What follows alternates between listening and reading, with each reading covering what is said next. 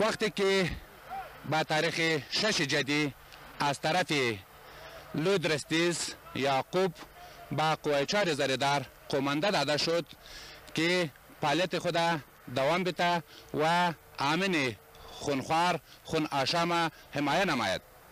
طوری که رفقای سایمن سبا سربازان و خورزابطان قوه چار زردار